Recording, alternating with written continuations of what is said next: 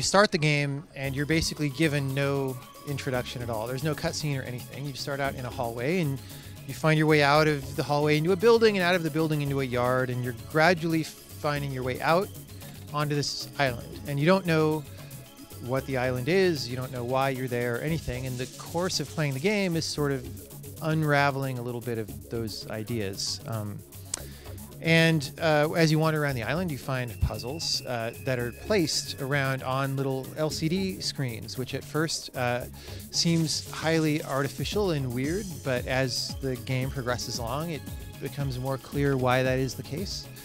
Uh, and you solve those uh, puzzles and progress through the game. Um, it's a non-linear game, uh, so um, once you get out of the little introductory area, you can go anywhere on the island actually and solve any of the puzzles. Um, it's probably about 25 to 30 hours of single player gameplay, so there's a lot of puzzles. Um, and every puzzle is unique. There's not really any repetition. You know, it's a very different kind of game. Something like an action game, for example, where you're fighting, like repetition is good because you're in the flow of the thing. But in a puzzle game, repetition is boring because it's like a, this is just a different variation of the same thing I already figured out. Why am I even doing this, right? So we worked very hard to make every puzzle unique and interesting, and each puzzle has its own idea that it sort of gives you as you, or that, that you need to come to realize to solve that puzzle. And this stream of ideas, as you go from one end of the game to the other, um, becomes a sort of very interesting non-verbal narrative, or nonverbal stream of communication um, that teaches you a sort of a puzzle language, and in doing that, uh, just provides a really interesting stream of ideas. You have to explore the world to get information to solve the puzzles sometimes, right? And sometimes um, you know, the relationship between things in the world is, is important, for example. Um, the puzzles are not just arbitrary challenges, they're about ideas, right?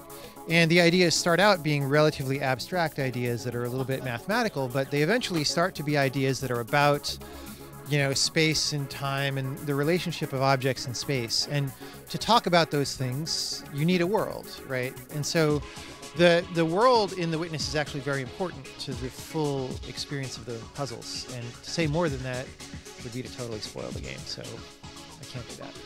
I originally thought the game was going to be much smaller than it is right? When i started one of the reasons why i said oh we'll be done in 2011 is because i thought it was an eight hour game. You know my previous game braid was about four or five hours.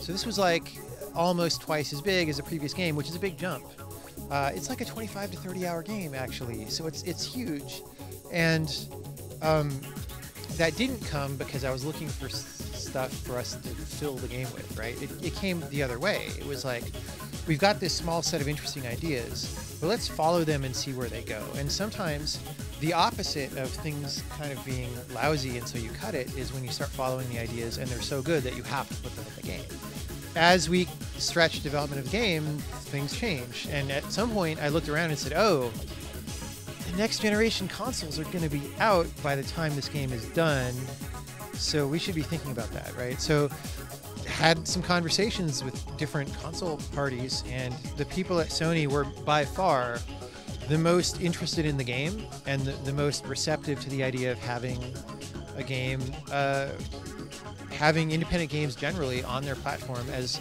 as a launch feature, right? So um, it was about a year ago, almost exactly, um, that we were invited to a developer event where they were disclosing the details of the hardware and and where you would sign up to get a dev kit and stuff. And uh, you know, Sony invited us to that, which is not something that happened with us and anyone else, right? And so uh, from there, it just naturally rolled. Like I was like, okay, we're very interested in this. Get us a dev kit as soon as we can get one. We're gonna we're gonna be on that console. So the, the plan is actually a PC and PS4 simultaneous launch, and then other platforms will roll along after that as we can handle it. So iPad, you know, we've got an iPad version kind of works. Uh, we're probably going to need to do some extra modeling because you, you, need to do lower res assets and stuff for a lower res machine.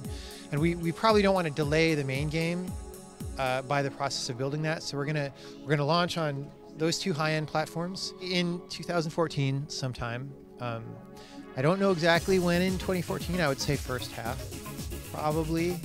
We might run a little past that if you know. uh, really the objective is to make the best game possible, right? And so we won't release it early if it's going to be not the very best that we can do.